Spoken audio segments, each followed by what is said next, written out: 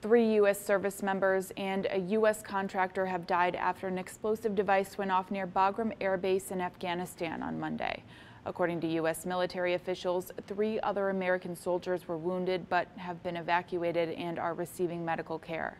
The Taliban claimed responsibility for the attack, which involved a car bomb targeting a U.S. military convoy near Bagram, one of America's main military facilities in Afghanistan. Around 14,000 U.S. troops are stationed in the country, mostly focused on supporting Afghan forces fighting the Taliban. A top U.S. negotiator said progress was made with the terrorist group during the latest round of peace talks last month. The two sides crafted some draft agreements, but nothing's been finalized.